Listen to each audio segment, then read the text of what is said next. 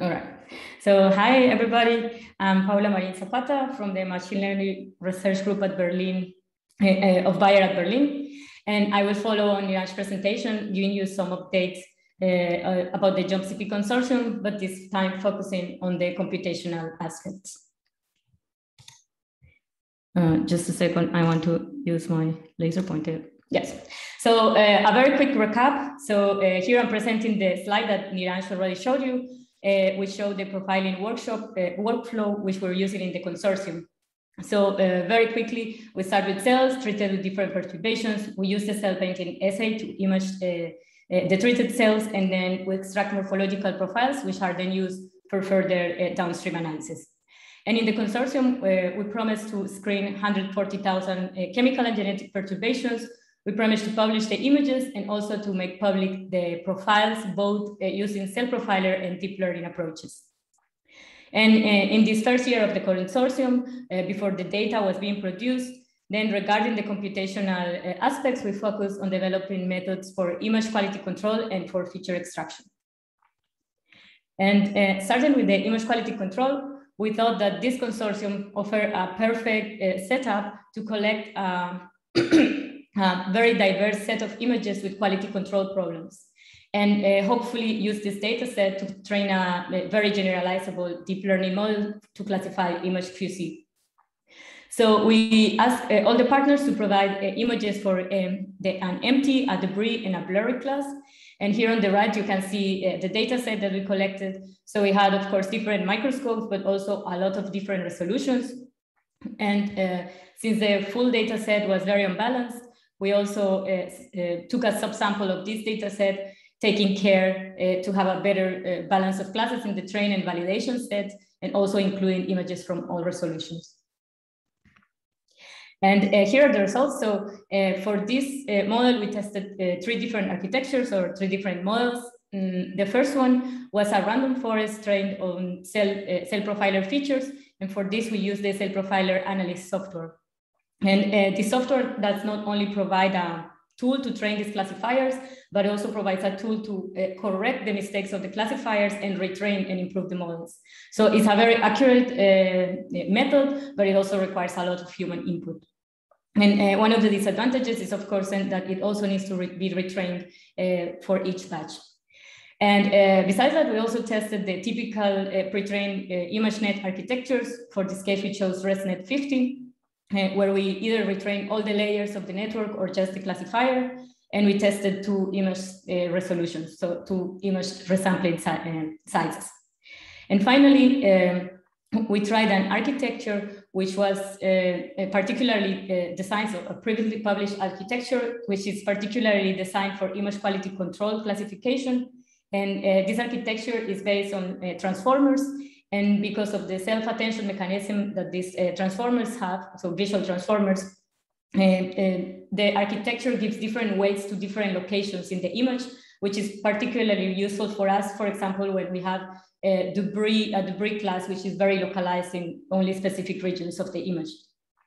And uh, besides that, it's also a very good architecture because it accepts images from different resolutions so it, it, it, means that we don't need to resize the image because resizing can also affect the perception of quality uh, of the images. And uh, to be able to compare it with the pre-trained uh, architectures, we also use a ResNet backbone for that.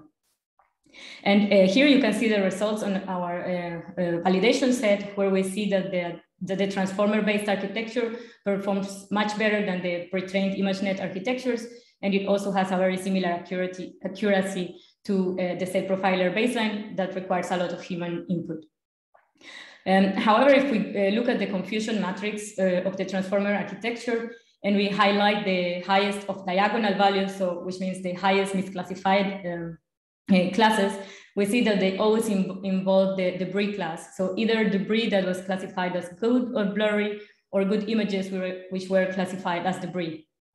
And, and this was kind of expected because the debris class is uh, very diverse and it was also the most difficult class to collect because it didn't appear in all the channels. And uh, therefore, we would like to also use this presentation to advertise that we're welcoming donations for fluorescent images with debris problems. And uh, of course, these models will be publicly available and it will benefit uh, the complete community.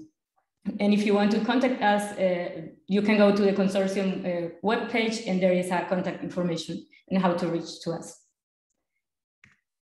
Um, all right, and now moving to the feature extraction, uh, we have finished now the cell profiler pipelines and we started working on the uh, deep learning pipelines. So for the cell profiler um, pipelines, um, uh, so we have published the, all our production pipelines in this Git repository in case you want to start using them to be sure that your data, that the data that you analyze now can be aligned later with the data of the consortium. And these pipelines mainly follow pipelines that were already uh, out there, except for uh, a few modifications.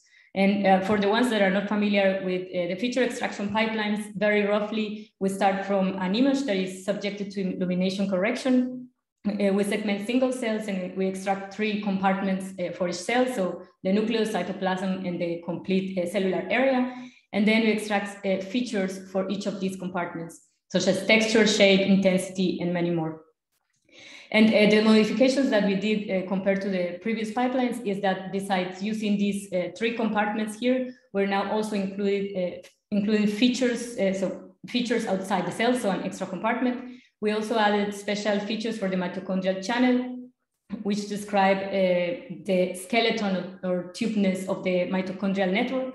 And we also followed the reasoning that we should include as many features as possible in this pipeline and then better rely on feature selection later on uh, uh, for the downstream applications. And uh, for the deep learning feature extraction, we're also designing a protocol uh, to extract uh, uh features using deep neural networks. And for this, we're using the deep, profiler framework, which takes images as an input together with cell locations and then uses different architectures to compute single cell embeddings or single cell features. And of course, the single cell uh, locations uh, need to be pre-computed with uh, a software of your choice. In this case, we're using Cell Profiler. And in this case, we're comparing, uh, again, three types of models, uh, so three different models to extract the single cell features. And we're comparing these models based on their ability to discriminate between different modes of action. And uh, just as a, as a, parenthesis, so all these single cell features are uh, undergo a post-processing uh, step, which includes aggregation, normalization, uh, spherization, and feature selection, where spherization is this uh, is a typical variance normalization transform that was published in 2017, and we have found that is very useful uh, for this type of applications. Um, all right, so the models that we're using for the single cell features is the cell profiler pipeline that I explained before. We're also using pre-trained architectures uh, trained on ImageNet, but we're also retraining the classifier of these architectures uh, on a task that is more relevant for our data set.